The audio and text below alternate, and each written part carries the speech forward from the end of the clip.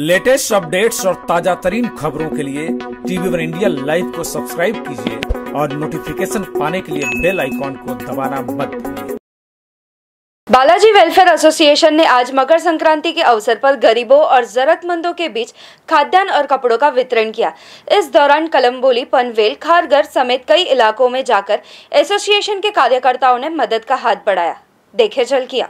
मकर संक्रांति पर्व के अवसर पर बालाजी वेलफेयर एसोसिएशन ने नवी मुंबई पनवेल क्षेत्र के कई ठिकानों पर गरीबों और जरूरतमंदों में खाद्यान्न एवं कपड़ों का वितरण किया। एसोसिएशन के स्वयं सेवकों ने कलम्बुली सर्कल पर रहने वाले बेघर लोगों को खाद्यान्न सामग्री बांटी। वही कामोठे और खारगर में भी जरूरतमंद नागरिकों तक मदद का हाथ बढ़ाते हुए खाद्यान्न एवं वस्त्र बांटे।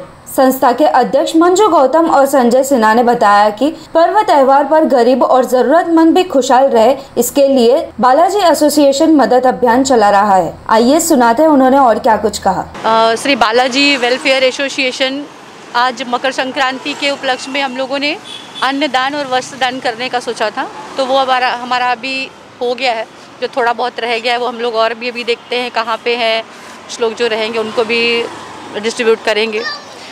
और हम चाहते हैं कि ऐसे ही सब लोग, और लोग हमसे जुड़ें और धीरे धीरे जो भी है, जो असहाय है, उनकी सहायता करें।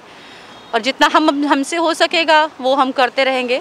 हम तो पीछे नहीं हटेंगे और लोगों को आगे लेकर आएँगे। जितना लोग जुड़ेंगे, उतना ही अच्छा रहेगा सबके लिए। मकर संक्रांति के शुभ अवसर पर हमारी एसोसिएशन, बालाजी वेलफेयर एसोसिएशन की तरफ़ से जितने भी ये गरीब लोग यहाँ पे हैं, इन लोगों को थोड़ा सा खाना और टी शर्ट्स वगैरह का डिस्ट्रीब्यूशन किया गया है। और इस तरीके से हम लोगों के ये कार्यक्रम जैसे चालू हुए हैं तो हर वीक हम लोग अब करते रहेंगे। एक साल हो गया हमको ये करते हुए और एक साल का जब ये हमारी वर्षगांठ थी, उसी दिन से हम लोगों ने ये फ़ूड डिस्ट्रीब्यूशन स्टार्ट किया है।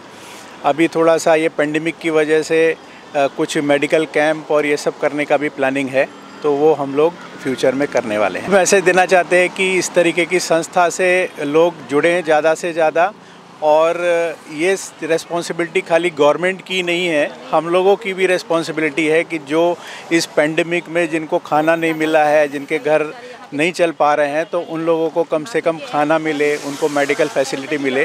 खाली गवर्नमेंट के लिए नहीं सोचना चाहिए कुछ हम लोगों को भी करना चाहिए। Bureau report TV one India.